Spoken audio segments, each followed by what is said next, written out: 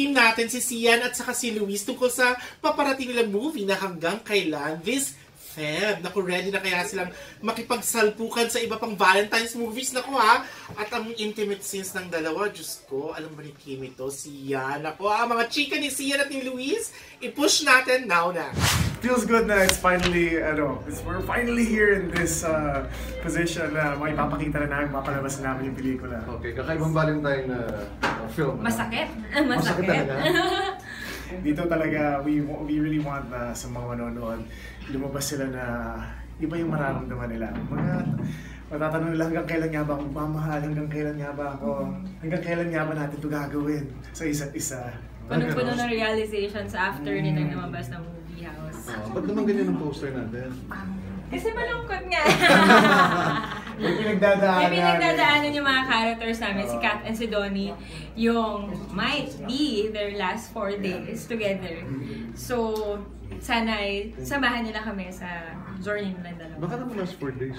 what might be the What last might- four days ng relationship nila.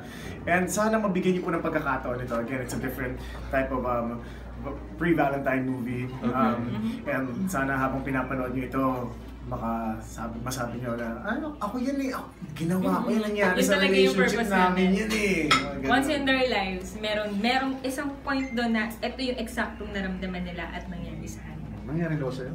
Ha? Ako, ay, masaya. Ano ah, masaya lang dapat, masaya lang dapat pag nagmamahal, hindi dapat ginagawang complicated. Baka yung isa nangyari. Ah, parang parang hindi naman directly ganyan, pero Okay. Naramdaman ko yung isang isang point sa life ko na ka-relate ako kay Kat. Kanina pinag-uusapan namin ni Luis na sobrang nakakatuwa tong pelikula na to kasi our director, si Direk Bono Fajardo, he was just very open with us sa mga Mm, Very suggestions namin. siya.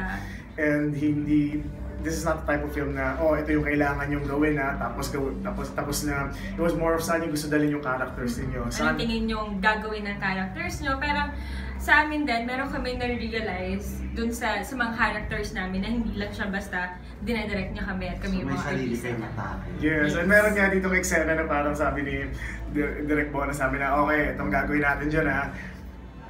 Dito lang yung camera. Kayo na na ba? bahala, kayo na bahala. Pero, Kayo na pero, bahala. yes, kayo na bahala. Titingnan natin kung saan, saan mapupunta yung eksena. So, yung ang mga ideas lang namin, all blended together.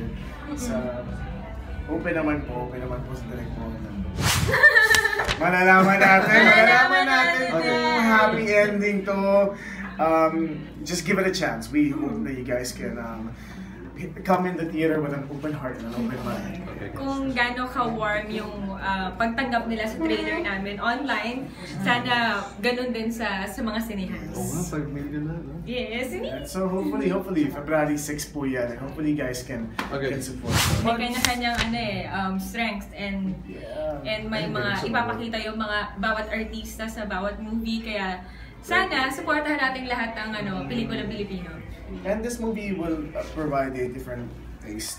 And, and it's a different feel. Ibang, iba't ibang pag uh, lagi ko sinasabi na pagkapasok nila sa sinihan, paglabas nila, Ibang tao na sila. iba yung ah, iba yung mararamdaman nila. Okay. We hope na yun ang mangyari. 2019 sana Nag-uumpisa na siya ng maganda dahil sa hanggang kailan. Sana masundan pa siya. Um, I just heard the good news kanina from my handler, kaya sana magtuloy-tuloy siya. project. Yes, yes. So, sana po. Sana. Sa akin naman, mo, mo, syempre, I couldn't ask for more projects. I, I want I want to do more movies. And uh, um, Cinemalaya 2019 is also coming up for me uh, as a director. So, na-excite ako doon. And um, wala lang, ang dami lang talaga nangyayari. Everything's happening very fast, which is good. Oh, yan na nga ba? Wait lang, dito lang ako ha. Siya? Parang make sense sa mga mga movies. Inaral ko itong sabihin ko. Oh, go, go, ikaw muna, ikaw Eh, muna. um, At dinig ko pinabayaan kayo. Uy! Well, Hindi, hindi, hindi. Um, Eh, hindi naman. Parang meron pupuntahan. Pero Okay. parang sarili naming timpla yung, yung, yung ginawa namin. And actually, this is my first time na talagang ah, merong gantong eksena. Kasi from, Oh, from yan? oo, eksena. Kasi before, parang he's been my, my love team for a couple of, of years na. Okay. And comfortable na ako talaga sa kanya. Buti ikaw Diba- timpla ng eksena. Oo. Hindi kasi ako yung babae. Pero, pero si Ian was really, really gentleman. Parang he's, he always asked me kung, kung ano And um, napag-usapan talaga yung eksena. Hindi siya pinag-usapan ng mga 15-30 minutes. It was more parang pinag-usapan muna ng mga siguro dalawang oras, tatlong oras. I mean, para Oo, pinag pinag-usapan talaga yung eksena na parang we're just comfortable sa mga gagawin namin. And um, and ma-capture talaga. I mean, hindi naman yung eksena naman, yung mga intimate na eksena, hindi lang naman siya para ilagay sa story. It was really needed sa story. Baby. Kayo na lang po ang mas gumagusga. Parang hindi rin naman kayang umalaw kasi meron tayong hinahabol na ano. Basta kayo na po ang magusga. Panoorin niyo po, Feb 6. Pinagpawisan.